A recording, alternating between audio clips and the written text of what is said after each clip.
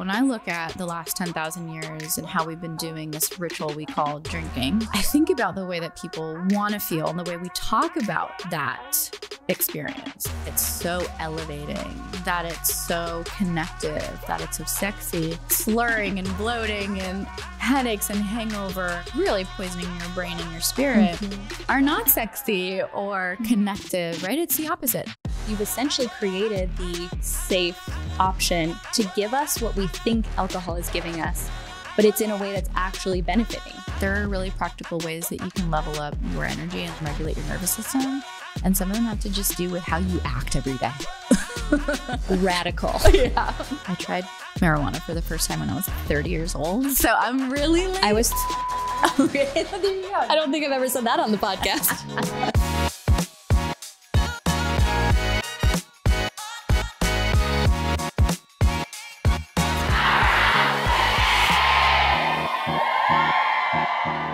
Jen Batchelor, welcome to Powerhouse Women. Thank you. I'm so excited. This is one of the interviews I've been most anticipating. I think just ever since our happenstance meeting at a local women's event and just understanding you and and the fact that upon our first hang, we just went into like the depths of our souls. I think we talked about past lives or something, oh, yeah. and then we I was like, right for it. Okay, great. This is like someone who I could really spend time with, and yeah. I'm so excited to share more of the story behind Kin, which is you. your brainchild mm. and a brand that beyond the functionality, the beauty, just the energy that I feel from being a consumer before I knew you. Now understanding how much intention there is behind that it's just really cool to get to share this Thank with our so community. Yeah. yeah. Thank you. So oh, it's an honor to be sitting here. Truly, I, I watch all of the podcasts and all of the videos from Powerhouse Women because, you know, it's like being a founder, and you know this. It's like you need an endless well of inspiration, and when you have women that are constantly showing up and showcasing not only their power but their vulnerabilities and their soft spots. Yeah. It's like i'm not alone in this. I can relate and i can power on you know knowing that we're all sort of in this together even though we may not know each other. We're sort of totally. there for the good fight you know? It's so true thank you for what you're doing. It it's out of a selfish need and a desire for creating that community for myself. Yeah. And it's been in this season where I'm 10 plus years into entrepreneurship, we have this motto you're not meant to do business or life alone. I feel like I'm getting it on a mm. whole new level because yeah. I just need support on another level yep. in this season. I want to take people back. So, for anyone who doesn't know Kin, how do you describe where mm. this beautiful brand fits within the beverage category? Oh gosh. Um it's just been such a long time coming. Like Kin to so many feels like a novel concept. It feels breakthrough. It feels maybe fringe or niche. But when I look at the last 10,000 years and how we've been doing this ritual we call drinking, especially mm-hmm. social drinking, mm-hmm. I think about the way that people want to feel and the way we talk about that experience and that it's so elevating, that it's so connective, that it's so sexy. And really look at the cold, hard facts about ethanol, right? Alcohol. And you realize that, wow, actually, it's so antithetical to all of those things slurring and bloating and headaches and hangover and really poisoning your brain and your spirit mm-hmm. are not sexy or connective, right? It's the opposite. So I think there's just been this like cognitive dissonance for so long we forgot about it. Yeah. And marketing does a really good job. I was going to say, plus, marketing yeah. companies are good at what they do. Right. Yeah. So we're sold convinced the vision that actually isn't a rep- representation of what the product actually does in the human body. Yeah. Mm. And I know you can relate to this, but I've sort of been taking an audit of everything in my life the, over the last five years specifically, and really 10 years if I go back on everything that I've sort of been mistrained on, mm. let's say. And around alcohol, we have a lot of brainwashing that has gone on. And so I really wanted to get not only to the root of the truth for the sake of a fact finding mission, but also like what is true for me? What actually brings me pleasure? Mm-hmm. What is going to bring me a sustainable joy, right? Like something that's going to deliver a feel good effect, something that's going to fill me up, but that I'm not going to have to pay for tomorrow mm-hmm. and on into the future, right? Because mm-hmm. now we're seeing that alcohol actually takes years off of our life mm. and we're all obsessed with longevity. So yeah. it just is as we become more educated as consumers, as we find out more externally, and we all are on it's seemingly we're all all on this like self-awareness quest. Alcohol fits that equation less and less. Mm-hmm. and so it's really about the collective consciousness. And when you ask me how kin fits into the the equation it's just it's the thing we've all been waiting for. Yeah. right? It's the thing that says you have permission to do this differently. And not only to walk away from the thing that's bringing you down but actually to fill your body and your mind with something that's going to bring you deeper consciousness bring you elevation right vibrancy vitality give you the energy that you need to go out and serve your causes and yourself like done Yeah. you know why didn't this exist before at the bar Mm. right so it feels novel but it's i think been a long time coming we were just the first to be like weird and brave enough to say like all right we're no one else is going to do it let's do it ourselves I feel like that's a masterclass on business itself. Are you brave enough to be the weird one and the first Totally. to go for it? yeah And I'm excited to dig into some of the story behind the intention that's in the product because you were at the leading edge of this before people were even using the term sober curious. Mhm. We were noticing, I was noticing even in friend groups and circles, just the conversation shifting. And I want you to speak to the intention that goes into the product and your background, how you fell in love with Ayurvedic medicine and these ingredients. Mm. Because what you've done is you've essentially created the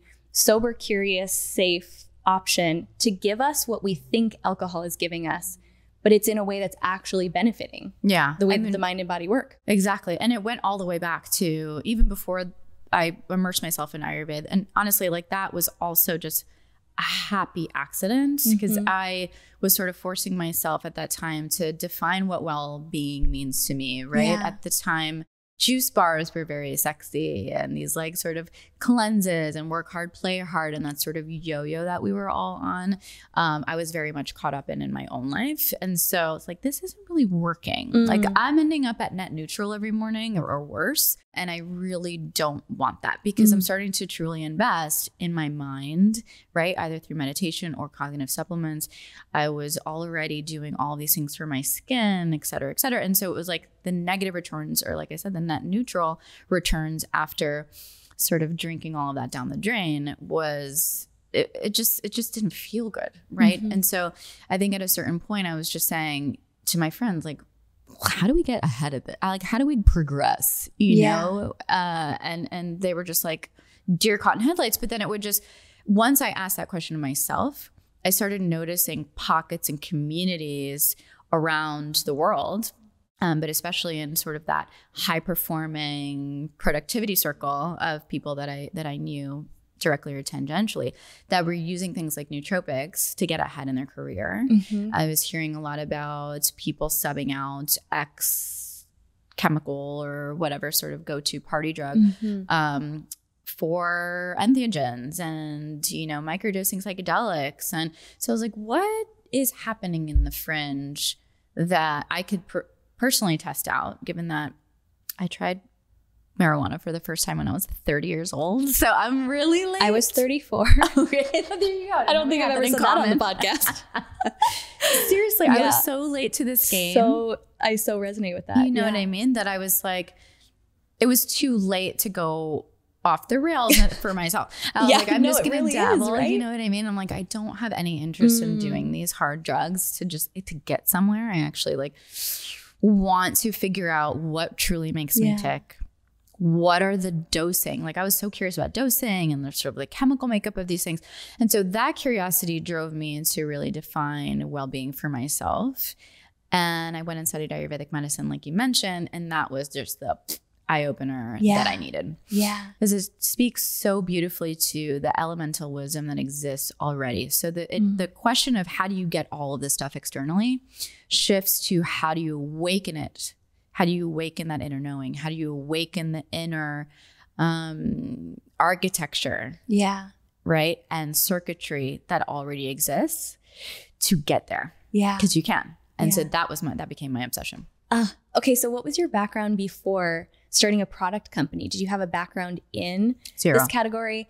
I love these stories. Okay, Yeah. so I, I want to hear all of it. Whatever you want to share about. When was that genesis moment where you were like, "This has to exist," and it? I think it's a beverage. Yeah. How did that process unfold? And then I love to take people back to like, when was your moment where you like sitting with Google? How do you formulate product? or yeah. those early stages when it was just this vision, but not fully formed yet. Yeah. And actually, it's a really good point that I don't think I've ever discussed either is that Kin, I, I never had any pre- preconceived notion that it had to be a drink. Interesting. I actually didn't. I yeah. was like, is there maybe an, an even better format for this? Right. You know, um, I left myself super, super open because what I was chasing was that effect, that feeling. And so, what I ended up realizing in like that two years of designing and dreaming and testing, mm-hmm. um, not only on myself, but my friends and, and other willing uh, participants, that there is something really beautiful and sexy about sharing a drink with someone, pouring someone a drink, um, ch- cheersing, right? And just even the, just observing, right? Watching the carafe of Waterland at the table versus when the champagne comes out. Mm. You don't even bat an eye when the carafe of water comes nope. out, right? There's just something in our peripheral knowledge that translates to the brain that says that doesn't signify anything other than hydration unless you're really thirsty. But the champagne bottle coming out means the party can get started. We're celebrating that, right? And it doesn't necessarily have just to do with the alcohol. It has yeah. to do with the pomp, the circumstance. Yep. All of that that it carries, right? That cognitive bias. So I realized that the sensuality of sharing a drink in that format had to be at the cornerstone of what we were doing. Mm. And then we could use liquid as a vessel. It was only later, having met and come across and cold called and cold emailed all these people that yeah. were the leading experts in the space. Um, and I'll break down what that space is it was only then that I realized that actually it even is coincidentally because we're so guided when we're doing the right Always. work. Liquid happens to be the best carrier for these ingredients. Sure, just for it to absorb into the bloodstream exactly. and like through the mouth. Like, yeah, I, I heard you speak on another podcast a little yeah. bit about that. Yeah, you know, and and it's been so interesting to dig into the story a little bit in preparation for this to understand again where that intention meets intuition. Yeah. Exactly. Those are my favorite stories. and it just makes it even more meaningful now as a consumer of the product mm-hmm. who loved it mm-hmm. before knowing the story. But mm-hmm. okay, so you start to realize it's a beverage. I know there was a massive fundraising round. I know there was so much that goes into like even where we're kind of picking the story up to where you are mm-hmm. today. What can you share about that? About having a vision that's that big that it's going to require a lot of backing from other people. Mm. And you're also selling a vision that hasn't fully, it doesn't sound like at this time the category had been created yet. No. Can you take us into that season? Mm-hmm. Well, I'll go back to something that you pointed out before yeah. is that if you want to start a business and there are a lot of question marks, mm. right? You have the vision in your mind and you have the feeling in your mind even because right i didn't even see a bottle at first yeah. i saw how i wanted to make people feel the change that i wanted to see in the world for myself how i wanted to wake up every day and just having that energy really clear in my mind mm-hmm. had i not kept a thread right like a tether to that vision and mind you my biggest stumbling block there is drinking alcohol so had i not skipped drinking alcohol for the sake of this experiment, I may not have had that daily sort of communication with my gut and my intuition enough to know call this person, go and take that meeting, take that flight, maybe do that, right? It's just yeah. like that inner dialogue that I was trying to reconnect to that this project allowed me to do. But I, I think it's true for anything you're creating, right? Like, yeah, especially as women, and this is the powerhouse women, right? Yeah. How do we connect to our superpower, which is our intuitive circuitry.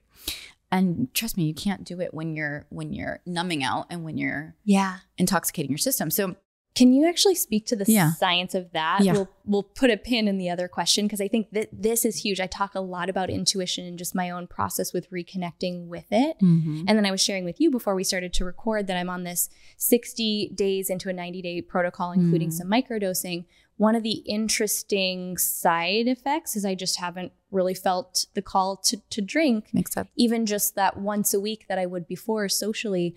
And you pointed out that, well, of course, because I'm going so much deeper into the connection to my intuition. Can you mm. speak to that? Because this this is actually really important for people to hear. Yes. And it, so there's the hard science behind it, which we can go into.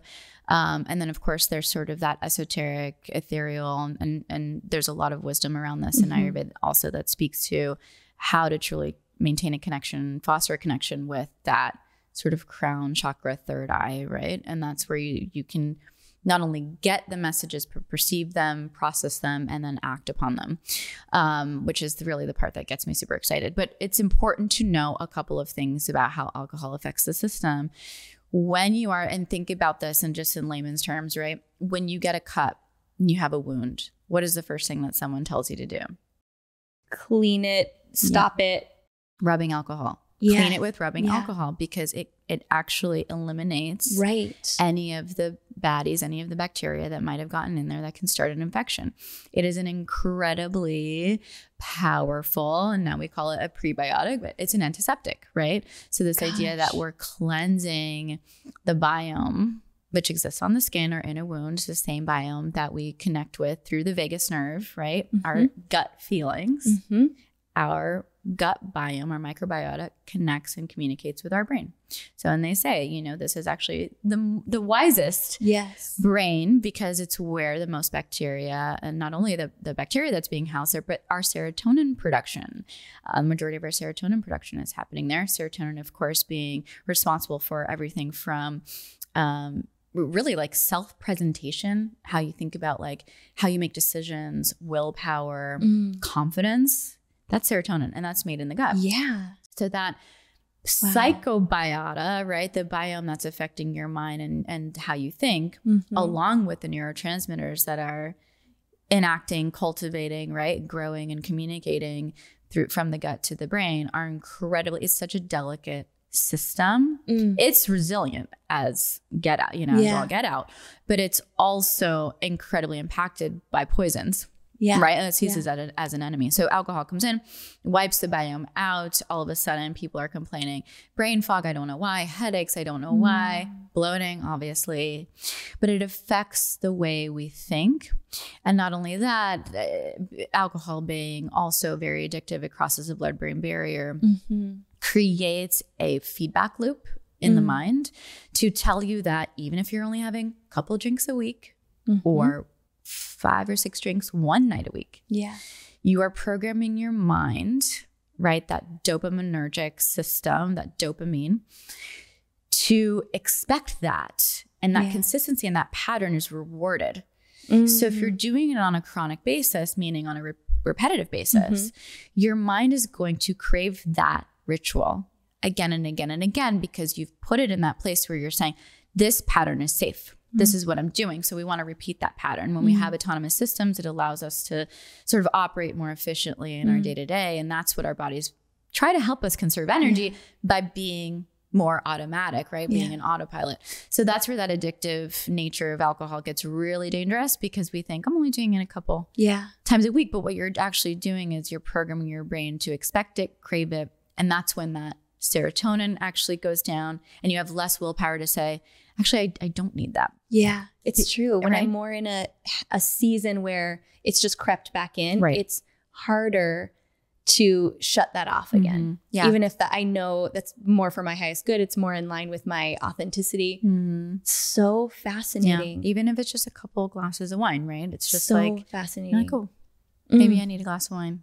But you don't. It's just your brain saying, yeah. Hey, remember that thing we did last week? Let's just keep doing it because I like this pattern. Or it's saying, maybe I need to calm down. Maybe I need to process an emotion. And instead, it's the default response is, I don't want to go there. I don't want to feel that. I don't want to be responsible for actually meeting the needs of my physical body right now. Mm-hmm. I'm going to go to the thing that we've been conditioned to see as the answer to so many things. Yeah. Mm. Well, and that's the thing that we don't often talk about when because it's the non-alc conversation typically is very black and white. It's yeah. this side of the fence or that side of the fence. And really what you want to pay attention to is okay, why am I getting a good or fe- seemingly good effect from alcohol? Well, the body does deserve a rest. Yeah. From time to time, we've programmed our brain to believe that, oh, as soon as that cork pops, mm. that's my me time right? And so if you don't have a healthy ritual that's also giving you that level of excitement that you can look forward to to replace that ritual, it's going to be really difficult because our body is saying, hey, I need to regulate my nervous system. Mm-hmm. And alcohol has to, happens to also enact on GABA, which is actually an amino acid that helps us to feel relaxed, right? It's, it's a precursor to, to a neurotransmitter that makes us feel super relaxed. And so we need to actively seek out. Mm-hmm. You know, I always say, "What's your yabba gabba gabba plan for the weekend?" like now, I feel like we're speaking Flintstone. I, we are. I'm like, what, what, what's memorable? like, how do you have your? How can we get a gabba a gabba mantra out there? Totally. Um, and make it fun and make it like engaging because yeah. we need to be active in our pursuit because it's hard out there, right? Yeah. Alcohol's everywhere. Yeah. That ritual, that like, hey, Linz, let's go grab a drink. Yeah. It's not to say that I just want to get you wasted. It's to say I want to connect with you. Yeah. But that we're it's so that language and that imitation is so prevalent in our society, mm. right? That it feels like it's the only option. And so we have to work actively to replace it with something more conscientious, more healthy, mm. and just as fun. Just as fun. Right? Yeah. Okay, so let's kind of pick this back up with what I was initially asking yeah. about those early stages. And I think it was perfect that we detoured into the intuition because you said, like, really going on this journey for yourself. And I think I want to ask, like, let's pick it up with so, was there a season for you that going out, drinking, like, having that sort of lifestyle was the norm? Mm-hmm. And then what was your pivot into? clearing that space and connecting in with the intuition like how did that connection happen so yeah. you could start to birth this vision so again, I mean, on the business side, I could have Googled all day. I could have mm-hmm. cold called all day. I think without having that connective sense, I would have missed cues in my own life. Yeah. Right? That, hey, maybe it's time to uh, take a break you know yeah. and it, whether yeah. it was like a dry january opportunity or hey i'm prepping for something i'm like running a marathon or any of those moments which i had multiple that's mm-hmm. why i mm-hmm. say it was probably five years even before we launched kin that i kind of ebbed and flowed yeah. around my position around this and sort of my own pov for myself and how i was going to mm-hmm. navigate alcohol and other toxic habits and people in my life. Yeah. But it's another conversation for another day. and it's all connected. Trust me, it's all connected. Um, mm. But I think it was just one of those, it was one too many. It wasn't one exact, it wasn't one particular catalyst or catalytic moment. Like, thank God, right? I, I didn't have any of those moments where I woke up in jail or in the hospital. Thank God you know, but just enough of an accumulation of things in my life that I'm like, you're getting in my way and taking an audit of like, what are all the things that are getting in the way of me rising up? And I don't even know what that means mm-hmm. necessarily. I don't mm-hmm. have it like, oh, I need to rise up so I can go get my that PhD or that corner office. Right. It was just like I was feeling emotionally stunted and self limited mm-hmm. by my own sort of proclivities around how hard I had to socialize and who I had to hang out with in mm-hmm. order to feel like I was succeeding. So it wasn't yeah. until I was like, I sat down to an exercise and I was like, I want to redefine success for myself. And there were a number of things. I mean, um, Gabby Bernstein's books, uh, the Bhagavad Gita, a number of just like spiritual texts and self help texts, frankly, that were like, Jen, maybe there's another way to do this. And maybe the thing standing in your way of what you want to accomplish is you. That's like such a fun moment in our personal like, growth journey. Dogged. Yeah. like we all just felt that gut punch, like, mm-hmm. oh yeah. Mm-hmm. Yeah, been there. You're not a victim. Yeah. You are in control of you. So start eliminating the things that you are doing that are stopping you. Mm-hmm. No one has to stop. drinking. I never said anyone around me has to stop drinking, but it would just so happen that I leveled up so quickly, mm. energetically in my life that people started noticing. And some wanted a part of it and some wanted me to go away. Mm, okay, can you speak to that? Yeah. Because we we talk a lot about like in a personal growth journey, there's people you outgrow. When you start to make I mean, I would say changing your relationship with alcohol for a lot of people is such a radical lifestyle mm, change yeah. to others not so much but it's very it's also very triggering to those that aren't wanting to look at that part of their life yeah was that hard for you or were you kind of on this new trajectory that you were just willing to let those relationships evolve as they were meant to. It was. It was really hard for me because I immediately felt the weight of everyone else's fear of being judged. Mm. And that's real. You know, like I don't want to hurt anyone around me. I don't want to make them feel less than. If anything, I want to inspire them to do something. But but everything runs through. It's like when you see something better, that whole adage of like you see your life flashing before your eyes before you die. This is, and this was for me a rebirth. Mm-hmm. And people could see that. Mm-hmm they could see I was coming to, into my own. I didn't care so much about what other people thought about me. I was happy, but like contagiously How dare you? happy. I know. I know. the audacity. Like, you have to be on something else. And like, no, I just am I'm tapping in and I'm I'm feeling super tapped in. And I and I yeah. and I want you here with me, but I'm not gonna do that evangelizing thing that's gonna really just annoy you. Yeah.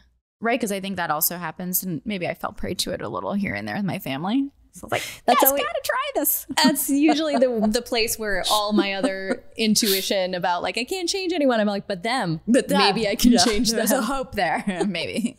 Um, but no, I just mm. kind of mm. just existed in the world, and I. Mm-hmm. But I think I was hyper aware, and they were hyper aware when I wasn't drinking, when yeah. I wasn't ordering something, when I was passing yeah. on the bottle, when I was, you know, and so I immediately felt the weight of that because. Mm-hmm. Um, I don't think I wouldn't put myself in the category of people pleaser but I am the consummate host. And the consummate host mm. is very aware. Yeah. When someone's having a good time, when they're not yes. having a good time.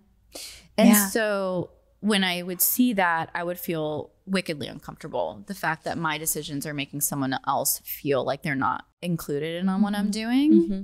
even though everyone else around me was also drinking. Yeah. So like that was that was an observation in my own life that I'm like, if I'm feeling this, everyone that's yeah. trying this on for size is feeling yeah. this. Where are those people? Let's meet them. Can we call uh, call come together? Yeah. Exactly. And they started coming into my life. Yeah. In droves. So you raised is it 15 million? Nine, to initially now. Now it's no, 19. the initial we we was the initial raise? We bootstrapped the initial. Okay, Tell me yeah. a little bit of that story because I yeah. know the fundraising was a part of it. Yes. But I really want to hear more of like the nitty gritty of the beginning stages. Yeah. yeah.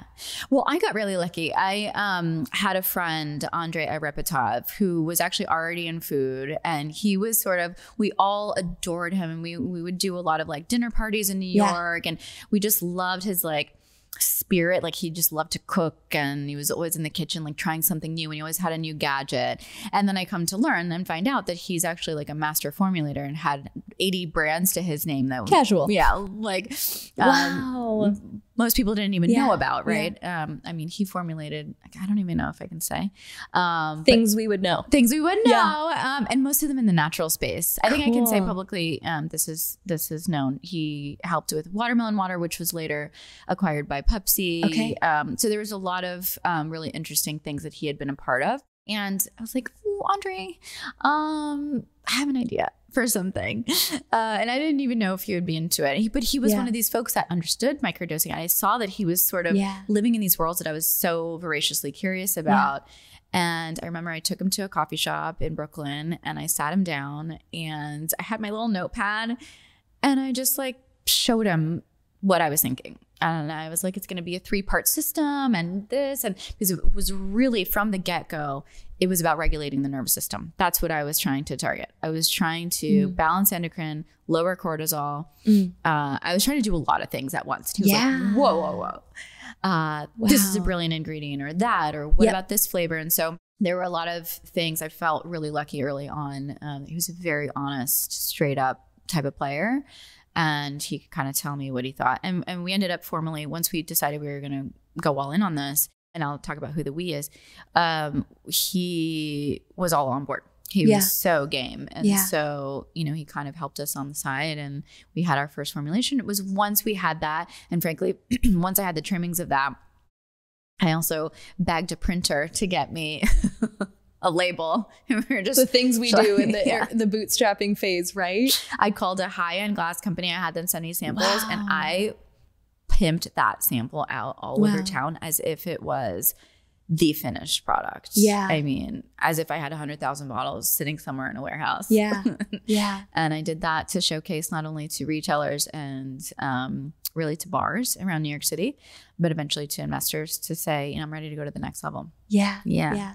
Okay, so you mentioned we. Yes. In the early phases, I know who some of your partners are now, but when did that come into the picture? Yeah. So, as this sort of idea was coming to light, I was introduced to a man named Matthew Cauble, who was sort of the original Four Amigos that created Soylent. Oh, Um, yeah. So it's uh, most people, it's it's.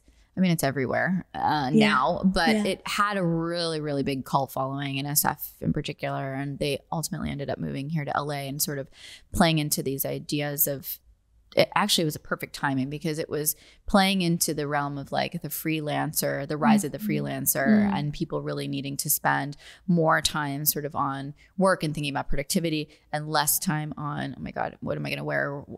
What am I going to eat? uh-huh. So they were trying to solve that. What am I going to Ah. eat? Let's make sure that um, what I'm putting in my body, even if it's just once a day, Mhm. is incredibly efficacious, nutritious, right? And so it was almost like Mhm. a supplement in food form. So he really understood the mechanics of what I wanted to create.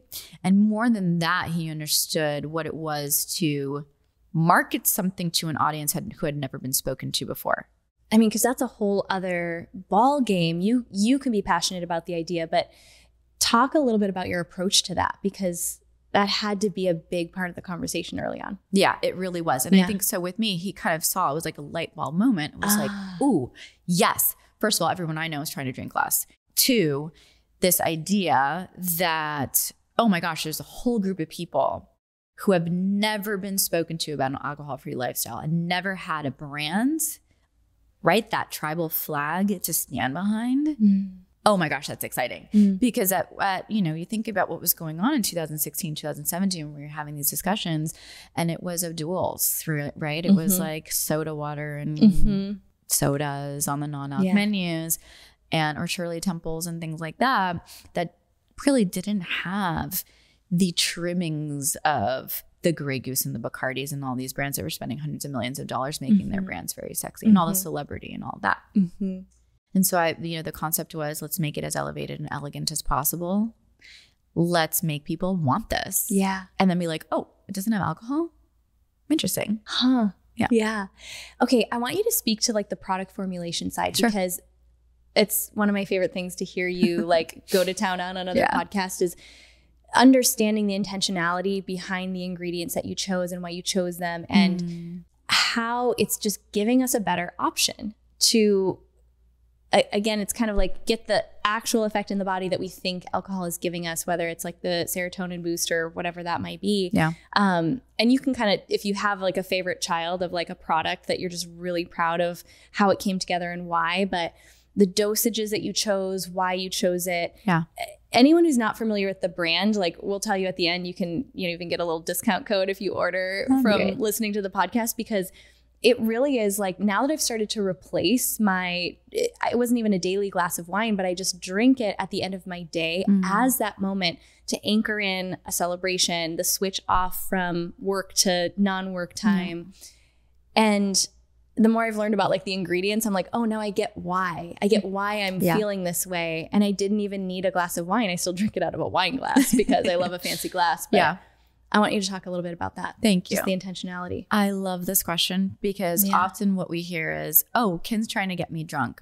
And so the analog, right? Wait, really? People say that? well, they're like, oh, it's the most functional Oh. alcohol replacement Yeah. substitute. We're not trying to be that, right? Yeah. So because one for one, people will say, oh, I need something to switch out my glass of wine and I want it to give me the same feeling, but I don't want any of the downside. We tried, we looked at that. Mm. It doesn't actually deliver what we want out of that Okay. occasion. And trust Yeah. me, we surveyed 10,000 people on Yeah. this topic by the time we launched our, our second SKU. So I'm proud just to say I'm proud of all of the products we've put out into the world because it follows this logic. This idea that actually we are a super fine tuned instrument Yeah. and there are little levers that you can push, pull, Mhm. and service yeah. that help us feel in our power, help us feel relaxed, help us feel all the things we actually want to feel. And not only do we feel it in the moment and not regret it tomorrow, but we can actually continue to nourish those systems, our nervous systems, our endocrine systems, even the the bliss molecules as I like to call them that are responsible for the perception of pleasure, creativity, confidence. We can do all of those things with the ingredients that exist today. Yeah. They just have never existed in a drink before. Yeah. So let's start there. Let's say, okay, what is the most disruptible social ritual so we could really showcase the power of this? Happy hour. Yeah. Without a doubt, every single person we spoke to was like, happy hour is where I fall off the wagon, drink when I don't want to drink. I drink mm-hmm. because I'm under pressure. First date, happy hour with coworkers. I don't want to be the odd man out or odd woman out, as it's often the case. I want to be able to drink something, have something in my hands, you know, and it better not be clear because I'm going to get harassed, right? And so I was like, oh, interesting. Okay, there's already a social construct around this that I want to serve deeply. There's also the psychological effect that you spoke to brilliantly about that me time ritual. It needed to be mm-hmm. beautiful, it needed to be elegant. So, beyond the ingredients, there were elements and aspects of the drink that had to hit those notes. The reason that social occasion was incredibly interesting to us from a formulation standpoint is because we discovered in our journey that the molecules, right, the neurotransmitters responsible for feeling vibey, relaxed, that switch from work to play, confident, present, dopamine, serotonin, right, mostly. And then as a byproduct of the social experience, oxytocin Mm. and endorphins. So That's quite the cocktail, It right? is. It is. No pun intended, but truly. that's what's actually happening. Yeah. Yes. And so it was like a, I was mind blown by that because I was like, oh my mm. gosh, anytime I ever hear alcohol and a bodily organ in the same sentence, it's usually the liver. Yes. Right? Yeah. It's like, oh, my liver's going to suffer for this.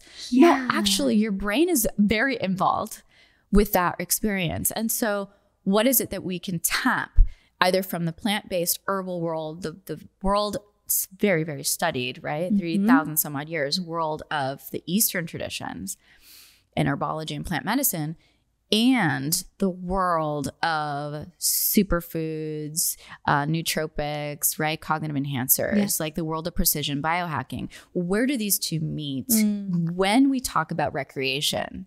That was a big one because nootropics was all about productivity and nine to five or even nine to nine, you know, if you're a coder. And in Eastern tradition, it was all about Zen and health and sometimes disease fighting agents, where I was like, no, no, no, I want to take this out of the hospital and out of the biohacking lab and into the bar.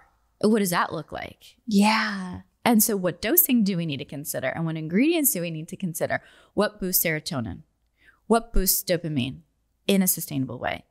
How can I get a little energy? How can I mm-hmm. lower my cortisol? Oh my gosh, the list goes on of all the things we were trying to do. Yeah. And it turns out adaptogens were incredibly effective and hit so many of these notes mm-hmm. that we were like, that's a non negotiable. We need to work mm-hmm. with adaptogens for sure. We need to work with not only the most efficacious ones, but we need to work with the biotechnologists that are helping us render these more efficacious.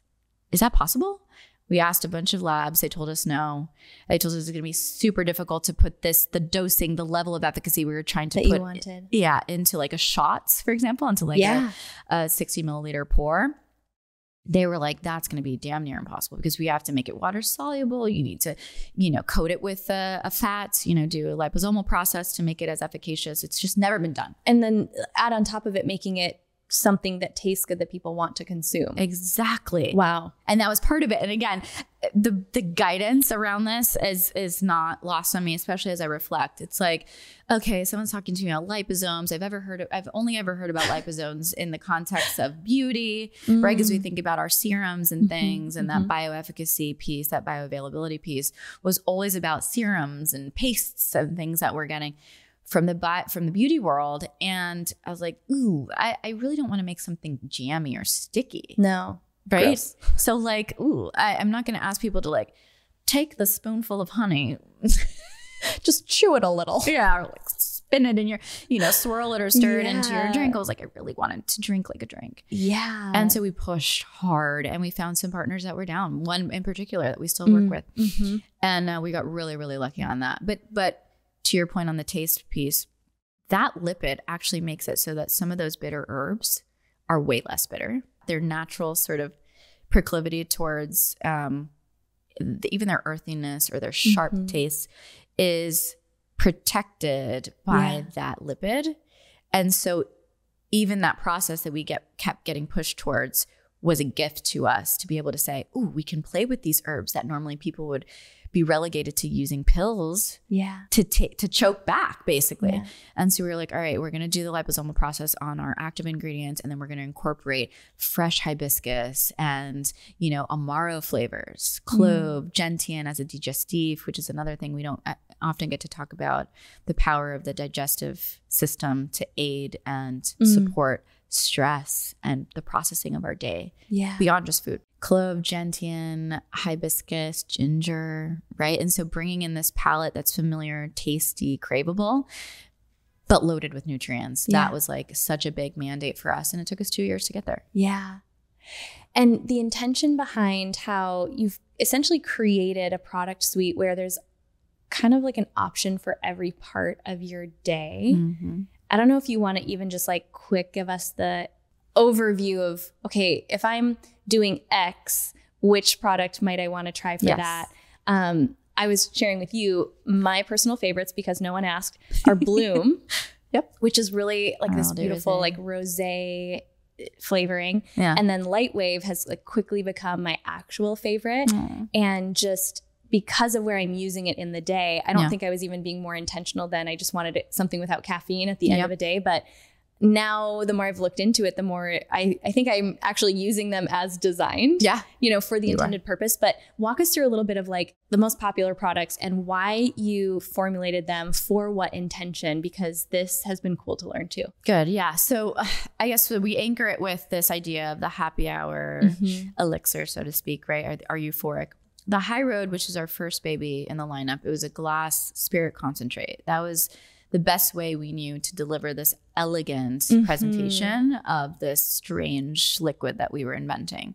It's just so stunning. And it was in an upcycled sake bottle. It still is. Oh, But when I think about those early days, it was like breaking these barriers of like visual interest and Mm. you know how a non-alcoholic product should show up in the bar and so we were like okay that happy hour moment and and it unlocked so much because me having immersed myself and studied and practiced ayurvedic you know philosophy and medicine was so attuned to this idea of circadian health and circadian which is a huge conversation Syncing. right now.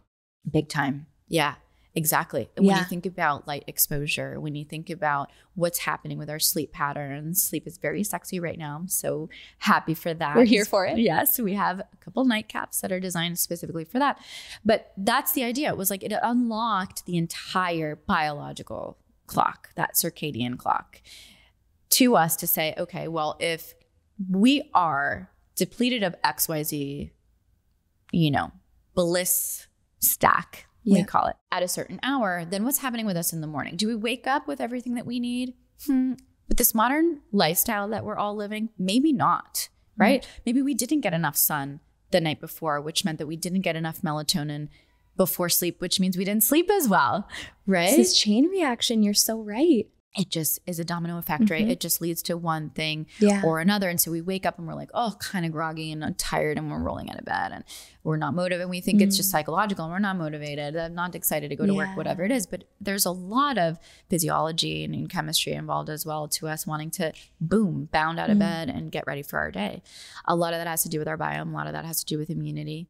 We're a lot of us, most of us, deficient of magnesium and D3. Mm-hmm. And those are the mm-hmm. two things that actually help us to get up and at 'em in the morning. In fact, we should wake up with a healthy dose of serotonin of cortisol and serotonin and dopamine as well. Like those three together, cortisol, dopamine, and serotonin, it's that reward system. It's that hell yeah, I'm me. I get to Yeah. live my life. And it's that just enough jolt of like, boom, I'm feeling that power within.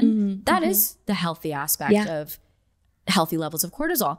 And so it's not, I don't want to villainize that uh, hormone at all because it's useful. It's the chronic stress that keeps us in that mode of adrenal tax and adrenal max out um, that ultimately renders that hormone um, really toxic, especially for for the the uh, fine-tuned sort of female organism. But Yeah. Anyway, so we created a mimosa product, for example, that helps with that. Uh, there's a clinical dose of D3 in there. So every can has a thousand milligrams. I mean, you're getting vitamin C, D, uh, zinc, turmeric, anti inflammatory, right? You're getting, um, because we have this level of vitamin C, which we all know now, I think, uh, it's a, a well known sort of beauty hack by having vitamin C and hyaluronic acid or vitamin C and collagen, for example, you're going to be able to absorb that collagen way more due to the vitamin C mm, that you're intaking, mm. right? So it, it actually helps the system not only absorb it, but produce it better. And so we were like, ooh, that's intuitive. That's interesting. Let's sync those together, right? Let's synthesize those two ingredients so that the guest is getting the benefit of both worlds. But it's intuitive in the sense that, like, you know when to drink a mimosa. You know, if you had like a pop quiz, like, when do you drink a mimosa? In the morning. Perfect. That's when you drink sunshine. so the flavor notes are there, the color therapy, the color cues are there. You know, it's bright yellow. So Here it is. True. I was going to say yellow. we just happen to have it. We, you can yeah. also drink it in the afternoon. There That's you allowed. go. Oh my gosh, and I yeah. do. It's my go-to. So refreshing. Yeah. And so, you know, I want people to be thinking about like yeah. supplementing in a way that's very sexy and beneficial, you know, and not necessarily pop having to pop a thousand pills a day yeah. to get where you're going. Yeah. You know.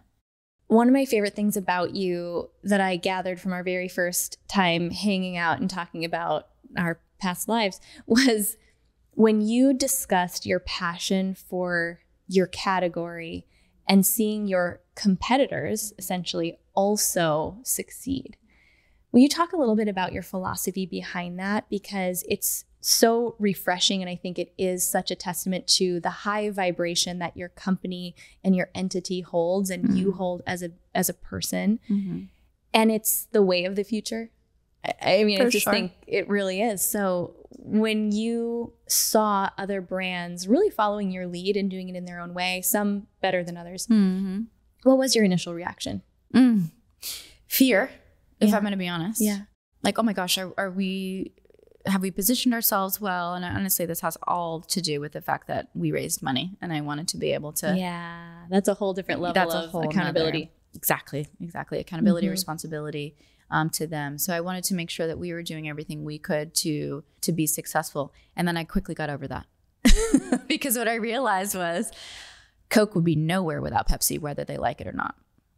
And what I mean by that is we needed other players to enter to validate our category and to mm-hmm. say this is a category. If it was just kin in the ecosystem, be like that kin weird brand that's trying to be a soda. What is it? We don't even know. It? Yeah. yeah. And now there's a name for it. And now Target can say, hey, how are we filling our shelves with premium non-alc?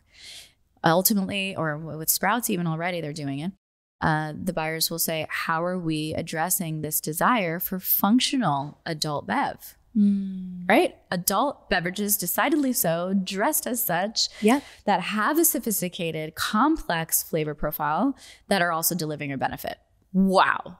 There's mm. not just one brand now, but hundreds of brands mm. trying to solve that problem. And I'm so grateful for it because it means that we have a seat at the table. And I get so excited not only for that, but because I've met so many deserving people that have told me their stories about yeah. why they're ditching alcohol for one reason or another, yeah. how it's improved their lives or their relationships, yeah. how it's changed their entire thought process mm. and how they perceive pleasure. I mean, there's so many profound reasons and stories and and uh, things that I've testimonials that I've heard over the last six years that I just get so tickled when I see another brand come out and they're doing it so well. Because yeah. I know if I'm not serving a guest the right way, they're going to do it and that guest is going to get what they need and they're going to move forward in their lives in such a brilliant way. And so I get so tickled because I was that guest that didn't yeah. have the option, yeah. right, for so many years. Yeah. And um, I just want to see consciousness at large. I want to see the collective rise up. You know what I mean? So badly that unfortunately to my investors' detriment sometimes. I don't necessarily center kin in that conversation. Yeah. I, I, look to the category as a whole, and I'm I'm everyone's biggest hype woman, especially if you're mm-hmm. if you're coming um, with that energy, with that yeah. that that beautiful vibration, which um, now so many of them are doing, and we're yeah. learning from each other on how to do that and how not to be fearful. We're toppling these sort of, uh, just you know, tried and true, I suppose, not so true to me, but this sort of like mainstay way of, of operating in the world, which we might attribute to patriarchal uh, archetypes or not. But this idea of that mm-hmm. sort of old school capitalism, right? Mm-hmm. Where competition, um, that fierce competitive spirit is the way to get mm-hmm. ahead. And really, what we're seeing is that actually collaboration trumps all. Um, and that if you want to go fast, go alone. If you want to go, you know, far, go together. That's mm. so true. It's never been more true, I think, than today. Agreed. Yeah. And you really go so far beyond just the words, the lip service of it. You know, example of you shared the story earlier about, you know, you're in Target and one of your competitors that's in Target that was having just had shared very vulnerably like some challenges with getting traction and you want to talk a little bit about that like it i want what I here's what i want women to hear in it it goes so far beyond just using the hashtag women supporting women or you know supporting people in our space it's like what was your mindset in going into that conversation because what you did is then you took action and and did it in a way that you can share the result i forgot what you said how it impacted their sales not not your own but like their sales yeah. share a little bit of that story as we kind of wrap up yeah well I, I think about this a lot because there's so many like cute little mantras and you're seeing like all over uh, the internet mm-hmm. around mm-hmm. like um, one woman shine doesn't um, preclude you from shining or you know sure. that's the gist yeah. of it I mean, yeah exactly more, way more poetic than that sorry you guys um, but they're so cute and they're so inspiring but then as as an entrepreneur who's under a lot of pressure and stress to prevail and and you know prove mm-hmm. themselves it's like that's a really cute idea for like my day-to-day life but not for my business and yeah. actually that's not true and who you are especially as an entrepreneur and founder is who your product is period whether you like it or not and so with us, being that we named our product kin, it is about the collective. It is about that kinship, that family. And that is such a through line to everything that we do, including how we behave and how we work with our, our collaborators. I don't call mm-hmm. them competitors, especially in this sense. So when she reached out to me and she was um, vulnerable enough, and this was after we had, had built uh, quite a bit of respect for each other um, across the aisle, was to say, like, look, I don't, I have no idea. Like, how do we crack this? Because we want to make sure the whole set does well, um, but especially we we deserve to do well. And I said, you absolutely do, you know. Um, and not only that, you make us look great on the shelf. Like I love yeah. sitting next to you on the shelf. You yes. know what I mean? You know when you and your girlfriend are both like looking fly, and it just makes know, both of you look better. Both of you, it's like, like, an amplification. Exactly, and we're like bouncing off each other's energy, and that's how we very much are in person.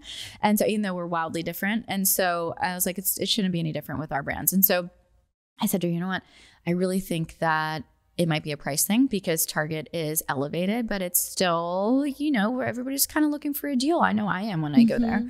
Um, and I said, what if we try a collab promo where we can sort of speak to both audiences, but there could be an opportunity to sort of say, hey, we're celebrating this thing that we're doing, that we're both at Target, and you can buy one, get one. Even though our pricing was different, we never called that out. It meant that if you were interested in her product, you got a discount on her product.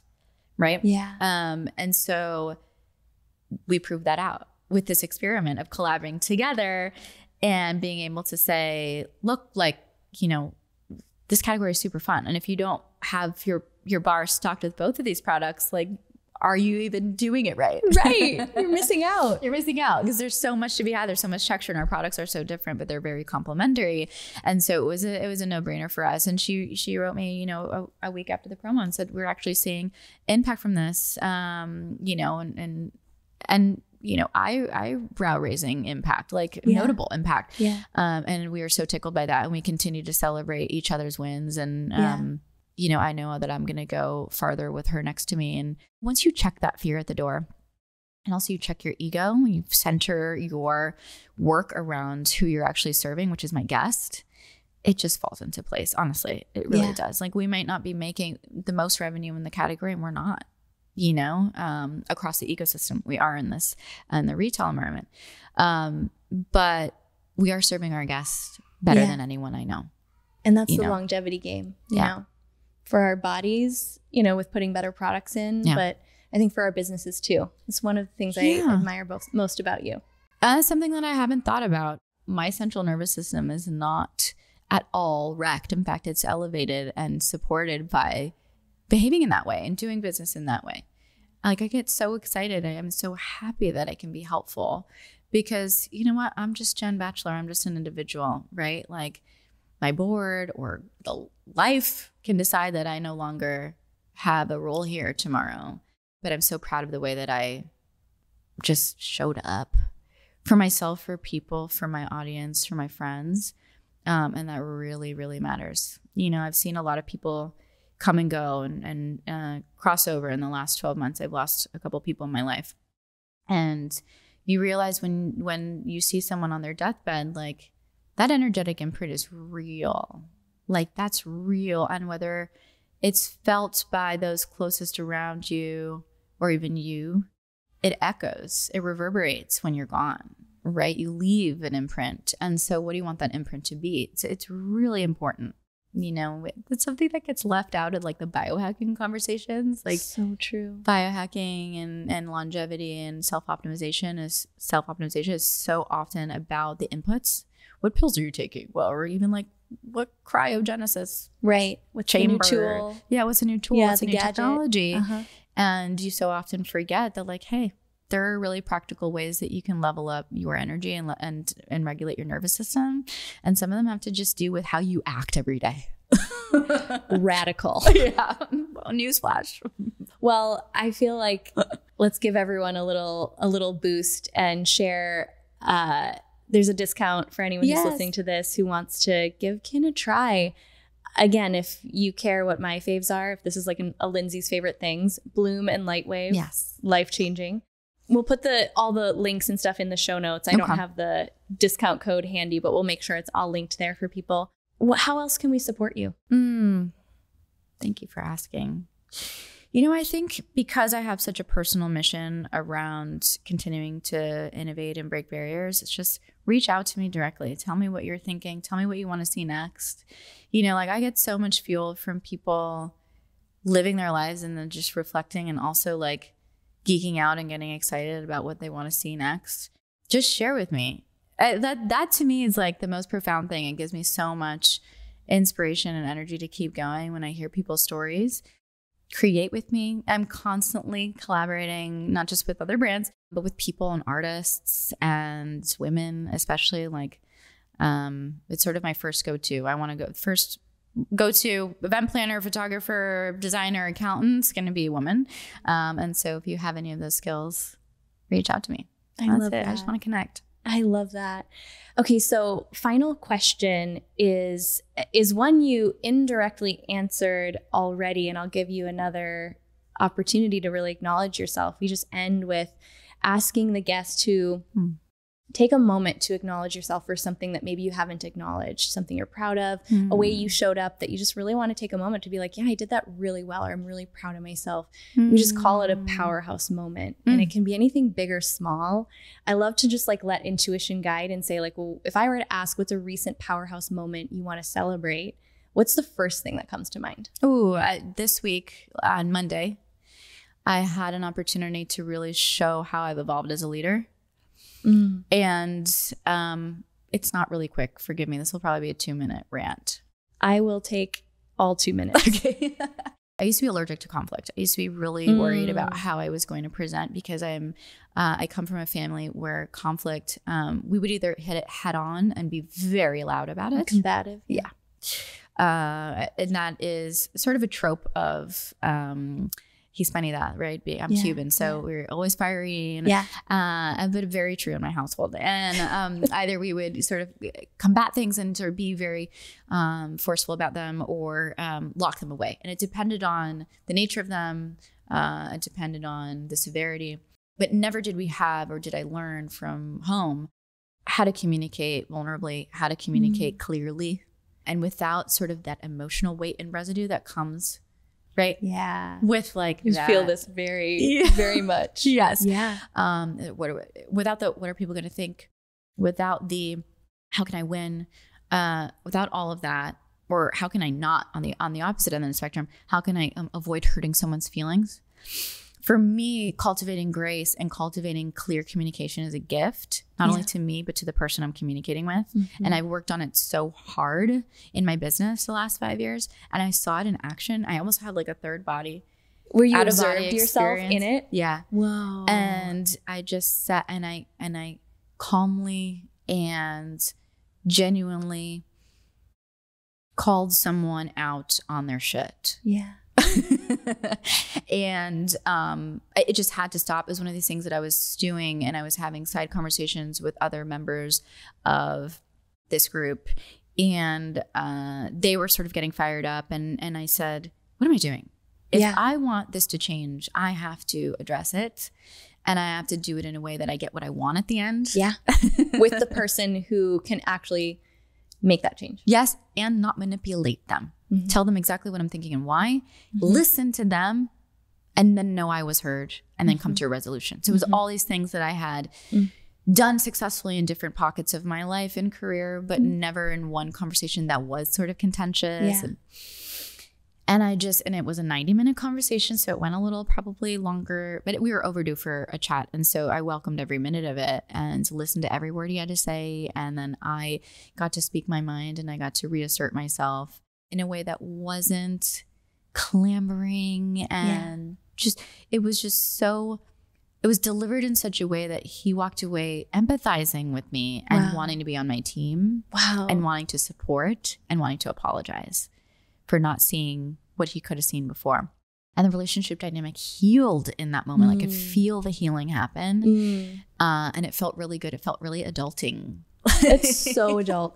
I think most of the things that I am proud of in this season have to do with witnessing the growth in my ability to communicate, to advocate for my needs, yeah. and to keep my true, authentic nature of grace and love in the midst of it. Yes, it's so hard to do. It's really hard to be soft and firm, yeah, at the same time, but keeping that and cultivating it. To yeah. me, it was it was something I had to work so hard on. It was something I had to exercise in my mm-hmm. own life and sort of clumsily do it, yeah, until I could then see myself um, delivering that. And and I feel like I'm speaking in um, generalities here. So if there's anyone that wants to like talk a scenario through with me directly like yeah. let's do it because i feel like yeah. this is kind of a superpower right because yeah. women for so long have had to like rah rah and like battle for Almost their overcompensate seat. overcompensate and i think lose connection with our true power and gifts yeah. as women yeah, exactly and sort of lean into the masculine in order to get it mm-hmm. done and mm-hmm. i didn't do any of those things mm-hmm. in this in this particular instance and i want to sort of keep figuring out how i can do this because it felt more like honestly, it was momming a little bit. I mean, talk about a real superpower though. yeah. But doing it in a way that mm. like the, the person felt nurtured almost and they were actually being told. So yeah, I was like, damn, if I would have learned this in my 20s, girl. but we have it now, right? Yeah, we have it. Yeah. Okay, that's so worth celebrating. And I agree. I'm so grateful for you. Me I'm too. grateful for the work that you're doing and just more than anything your friendship and just getting to be in your world and and be impacted by that in your leadership. So Ditto. thanks for coming and like, stopping by the pod. thank you for having me. I'm so grateful. Oh my gosh ditto. I, i've said i said it at the top and i'll say it to close but the stuff that you're doing the way you're doing it mm. is the other thing is so electrifying mm. you know and we need that like where else do we get fuel? Outside of my, my morning coffee or my kin spritz like that to me to see other women like stepping into their power. Yeah. and we were saying it what was the word we kept using? Expanders yeah when we were together oh my gosh to know that you're expanding mm-hmm. for others and being you know uh, being a model for that mm-hmm. and then igniting that in, in themselves those mirror neurons yes i mean that is your product that is your superpower yeah you know so anyway keep going my quote is always just never stop never stop mm-hmm. doing you I love that. Thank you.